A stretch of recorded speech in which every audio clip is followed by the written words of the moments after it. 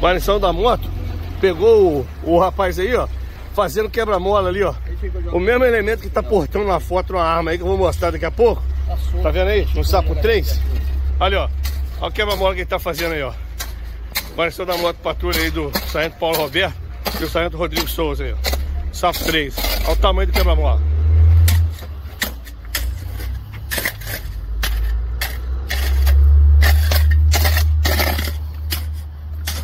chato pra caralho.